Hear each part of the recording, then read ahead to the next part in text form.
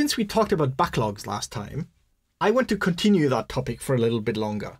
And I would like to talk about essentially just a word, or two words rather the word backlog and the word funnel. Because words have power. And I think if you were to call what you now call a backlog a funnel, maybe it would convey a clearer picture of motion through this funnel, of change, of activity, as opposed to something kind of calm and placid and unmoving, like a backlog. So, backlog, we said, is this ordered list of, of requirements.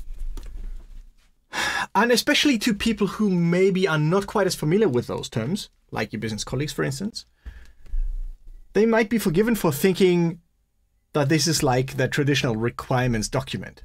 You write it once and then you're done. And it never changes.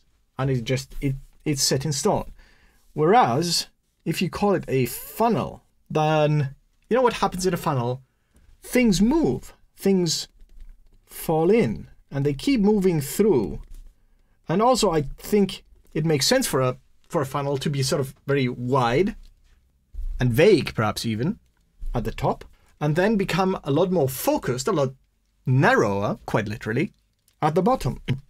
And so I encourage you to think of what we call the backlog as a funnel, as something that moves, as something that increases in focus as you go further down.